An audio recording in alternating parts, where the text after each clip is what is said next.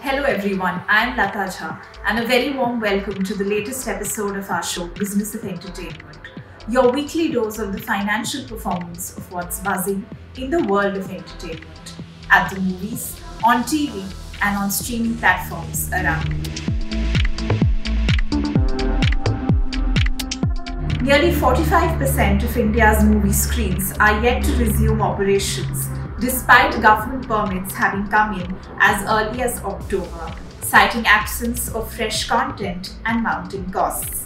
Several theatres, particularly single screens, say that the lack of new content featuring popular stars makes reopening almost futile as families in small towns are unlikely to step out. Several others don't want to reopen in the same area as a competing player for fear of further splitting minuscule audiences. That is not all.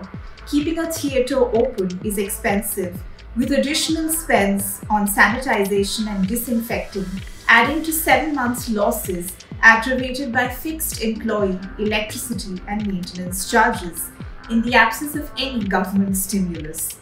Cinema owners do not see reason to reopen at a time when they would have to lower ticket prices to lure audiences and spend on repairing projectors, speakers, and other equipment.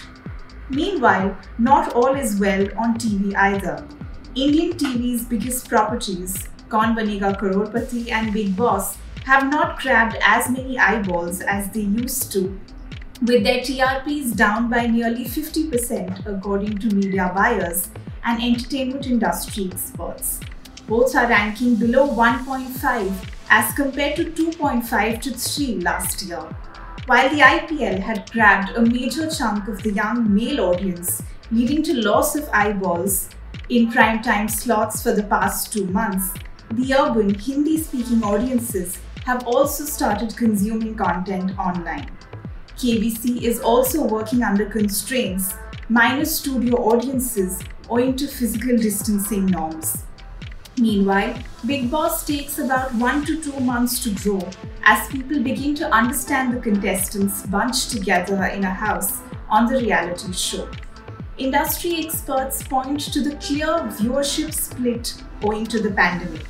In an average household, while women and family audiences never the core audience for reality shows anyway, have remained glued to fiction, young and male audiences have either taken to the IPL or to web content.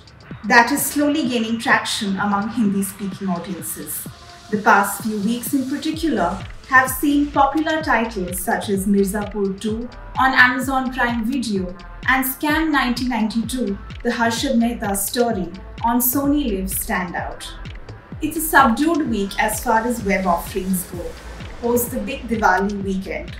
Netflix is out with comedy drama Mismatched, starring Prajakta Koli and Rohit Saraf, that is equally enjoyable as a young adult love story as it is in its messaging on individual insecurities and the facades to mask them.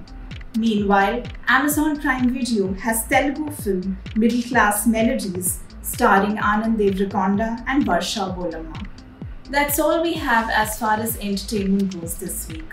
We will be back next week with more news and context on all that's fun and entertaining in hopefully better times. Till then, take care, stay safe, thanks for tuning in, and remember, this video is also available as a podcast on various platforms.